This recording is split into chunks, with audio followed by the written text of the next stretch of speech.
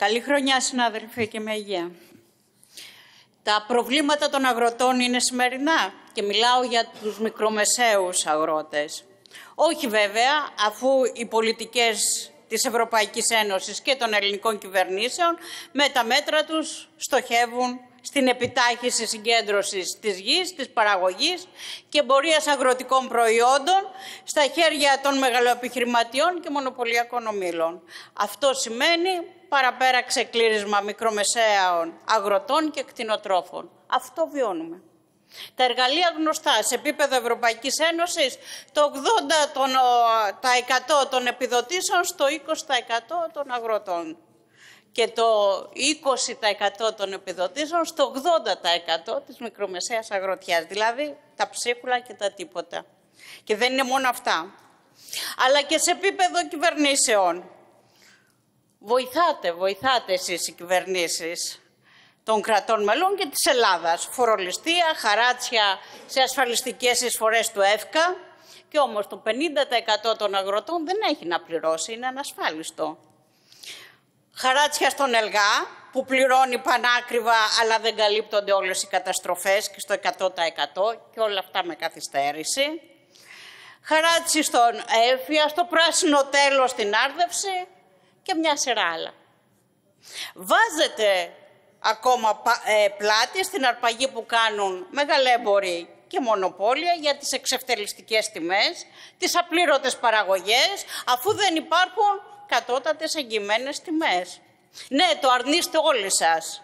Κυβερνήσεις Νέας Δημοκρατίας, ΣΥΡΙΖΑ, ΠΑΣΟΚ, για εγγυημένες τιμές. Γιατί, γιατί τους βιομήχανους υποστηρίζετε και τους μεγαλέμπορους και τα κέρδη τους. Μιλάτε για ελεύθερη αγορά, προσφοράς και ζήτησης.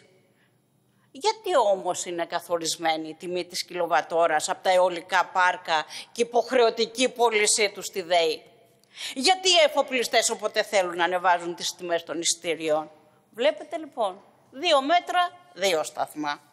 Μιλάτε για αγροτική ανάπτυξη, καπιταλιστική βέβαια, που σημαίνει μεγαλύτερη κερδοφορία για τα μονοπόλια και καταχρεωμένους μικρομεσαίους γεωργούς και κτηνοτρόφους. Η διαφορά σας είναι διαχειριστική. Η στρατηγική σας ίδια ολόιδια και τα παραδείγματα πολλά. Να πω, εξαγωγές φέτας ρεκόρ όλα αυτά τα χρόνια και τις κρίσεις. Η τιμή όμως του πρόβειου γάλακτος κάτω του κόστους παραγωγής. Κάτω από τα 90 λεπτά και κάτω από τα επίπεδα του 1995. Η Eurostat δίνει ότι το 50% της φέτας παράγεται σε 11 μόλις, μόλις επιχειρήσεις πανελλαδικά. Βλέπετε ποιοι βελτιώνουν την κερδοφορία και ανταγωνιστικότητα την ώρα που χιλιάδες κτηνοτρόφοι ξεκληρίζονται. Αυτός είναι και ο ρόλος της διεπαγγελματικής που τσακωνόσαστε. Τιμές ελαιολάδου 1,95 ευρώ στη Λέσβο, 2,10 σε Μεσσηνία και Λακωνία. Εξευτελιστικές τιμές. Κι όμως, το, λέω, το λάδι πουλιέται πανάκριβα στο σούπερ μάρκετ και στις αγορές του εξωτερικού. Τα ίδια για το μπαμπάκι, για το ροδάκινα και άλλα προϊόντα.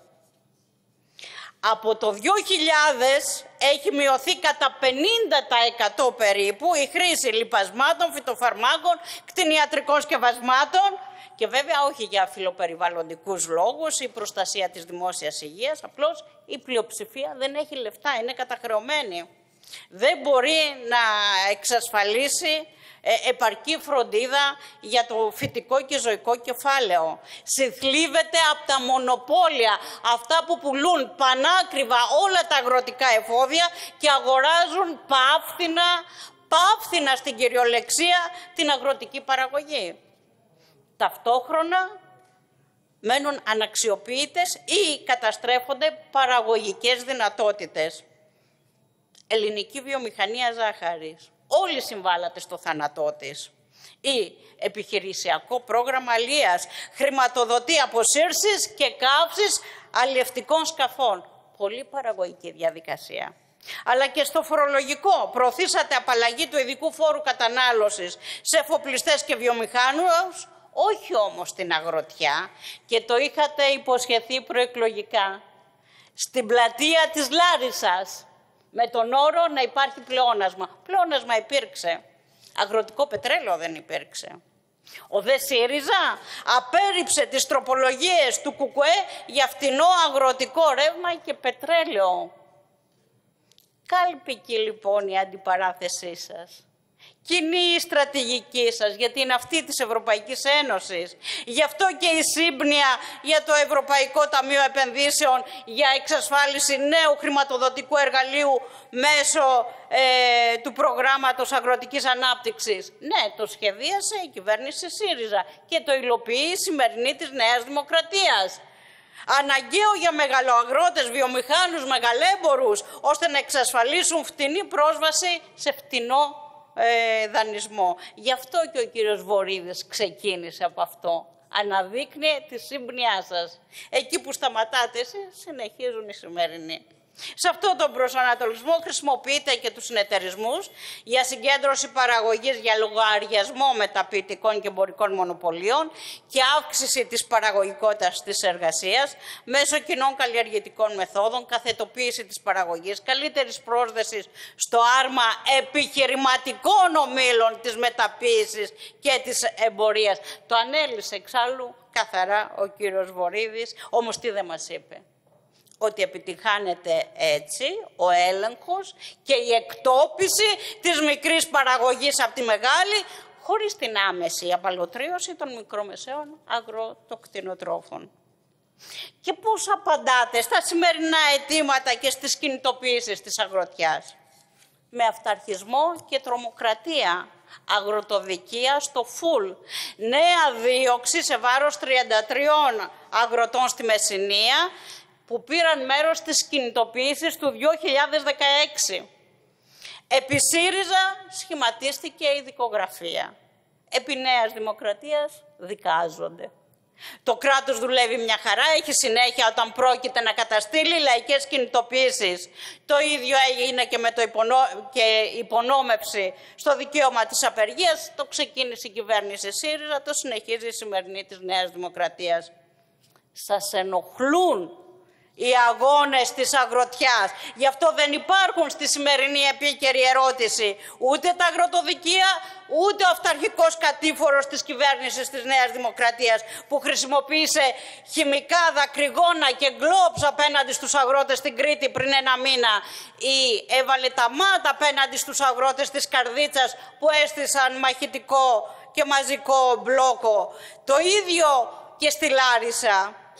Επιχειρείται δηλαδή με αυτόν τον τρόπο να εμποδίσει να συμμετέχουν στο νέο κύκλο αγωνιστικών κινητοποιήσεων. Να γιατί η απάντηση θα πρέπει να είναι η αλληλεγγύη και ενίσχυση των αγροτικών κινητοποιήσεων που ανακοίνωσαν για το τελευταίο δεκαήμερο του Γενάρη ομοσπονδίες και αγροτοκτηνοτροφικοί σύλλογοι και η στήριξη των ετοιμάτων τους.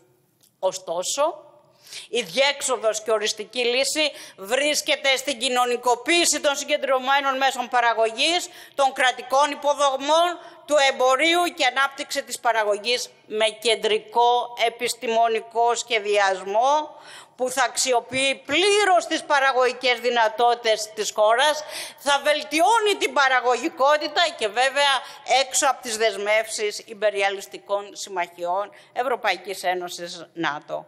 Αυτό σημαίνει ανατροπή του σάπιου καπιταλιστικού συστήματος που υπηρετείται με συνέπεια και επιβολή ενός ποιοτικού ανώτερου του σοσιαλιστικού τρόπου παραγωγής που θα έχει στο επίκεντρο τον άνθρωπο και την ικανοποίηση των αναγκών τους συνεπώς και των μικρομεσαίων αγροτών που δεν είναι μόνο το εισόδημα, είναι η υγεία, είναι η μόρφωση, ε, η, η κοινωνική πρόνοια και μια σειρά